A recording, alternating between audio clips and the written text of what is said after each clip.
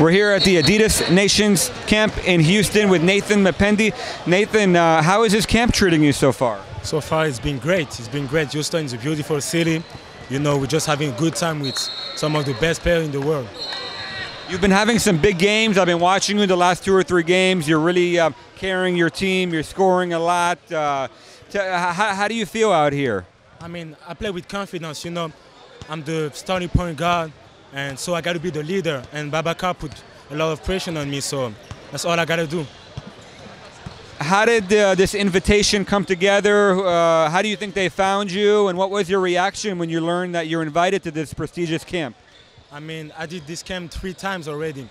Um, I know Babacar for a long time, so he invited me a couple of times, so that's how they found me.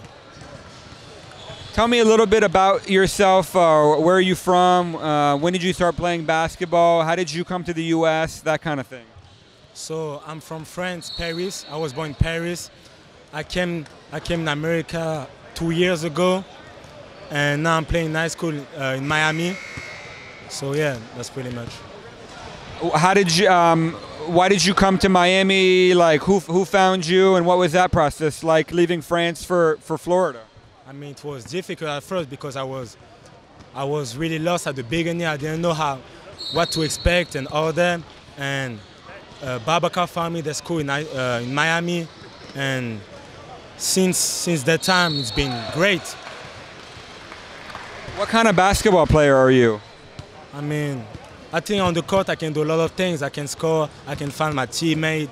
I can play defense. So yeah, I'm like I'm I'm kind of I'm like a combo guard. Have you always been a guy who shoots the floater? It looks like that's your favorite shot, and you were making a lot of them here at this camp.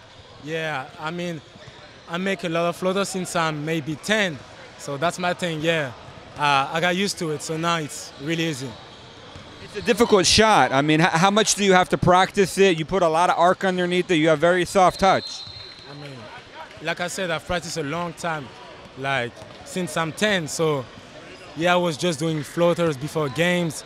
So now it's really easy. I mean, What's the next step for you now in terms of your evolution as a basketball player?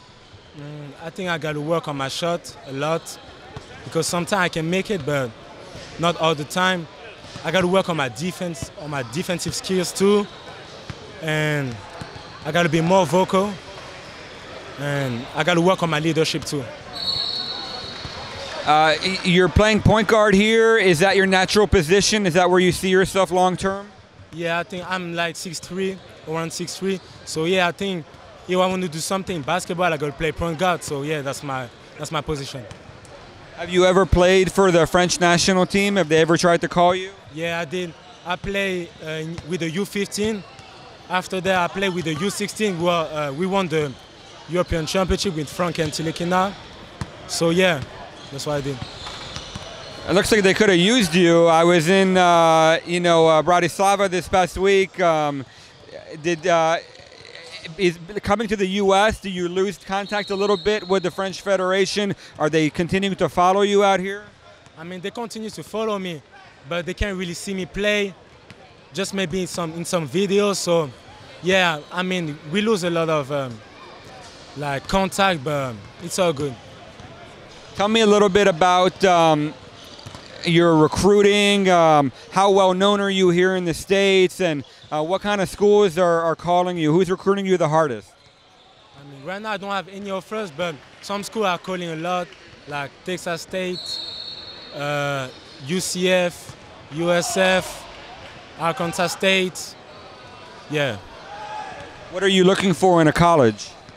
Man, I just want to I just want a college that they can trust me. That my first year they can they give me a, a lot of like opportunities to play. So that's what I'm looking for. Any players that you enjoy watching um, in high school, in college, or in the NBA, or in France, the EuroLeague, whatever? Yeah, in NBA, I like I really like Kyrie Irving. I like the way he plays. I like um, Kawhi Leonard too. After that, I don't, I don't, I don't want to say a player of my age because it's competition. So yeah. Thank you so much, Nathan. Appreciate it. Thank you very much.